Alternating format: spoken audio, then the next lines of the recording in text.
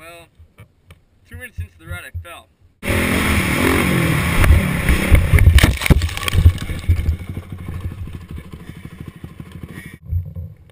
feel really stupid right now. Especially since I'm talking into a camera. Wes, what do you think about that? Joey just got a little whiskey. Little whiskey throttle, that's it.